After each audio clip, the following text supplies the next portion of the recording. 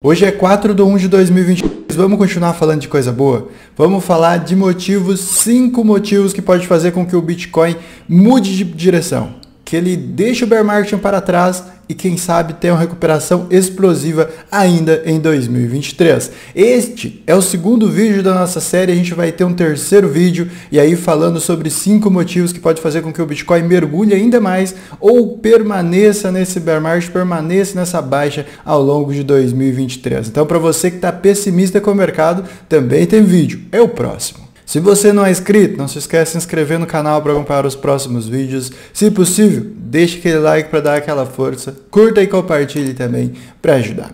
Pois bem, hoje a gente vai falar sobre cinco motivos. Esse vídeo ele não vai ficar muito longo, ele vai ficar um vídeo bem rápido, um vídeo interessante para assistir porque direto ao ponto. O primeiro motivo que pode fazer com que o Bitcoin reverta sua tendência é a guerra na Ucrânia. A gente sabe que esse conflito já se estendeu por um longo período e não dá sinais de que em 2023 ele possa ser encerrado ou, quem sabe, ter uma trégua. Mas a gente não sabe o futuro, certo?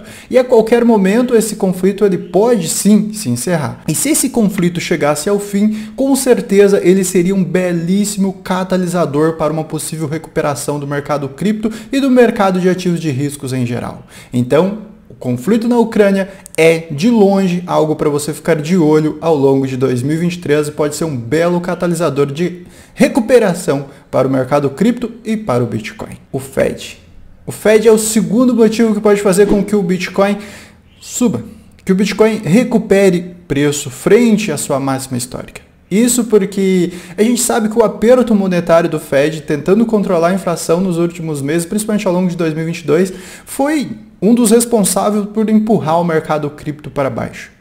Esse aperto ele tende a ser mais flexível, principalmente no segundo semestre de 2023. Isso pode fazer com que o Bitcoin inicie uma recuperação que pode se prolongar por 2024, 2025 e aí a gente vai ver o Bitcoin na lua literalmente. Da mesma maneira que ele foi mais agressivo em 2022, ele pode ser mais flexível, principalmente no segundo semestre de 2023. E aí, a consequência disso é uma possível recuperação de preço do Bitcoin.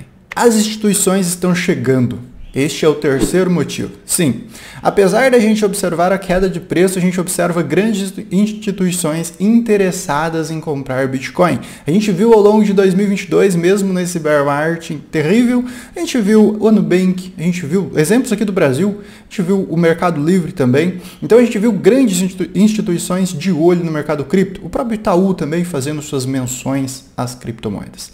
Então a gente observa que essa adoção, mesmo no mercado cripto, ela também está forte lá nos Estados Unidos. Algumas pesquisas indicam que mais de 74% dos entrevistados, das instituições entrevistadas, têm interesse em colocar o Bitcoin no seu portfólio.